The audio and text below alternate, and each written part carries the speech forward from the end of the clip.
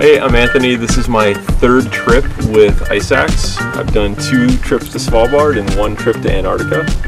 And I love Ice Axe because it allows me to ski in incredible places like this.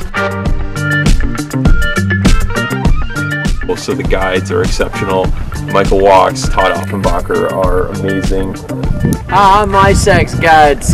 Talk off the do that one again. Just being able to ski in the Arctic is incredible.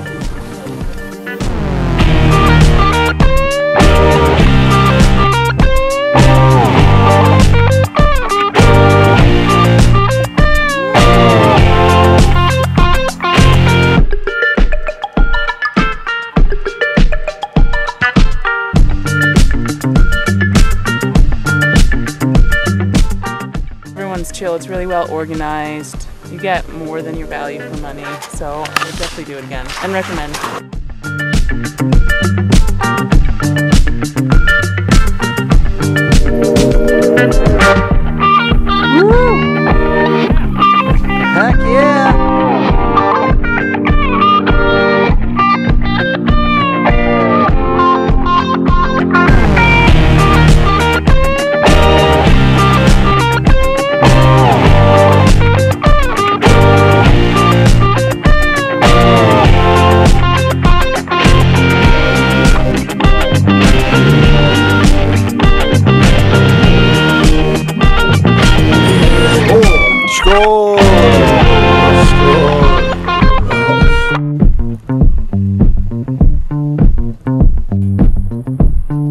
Thank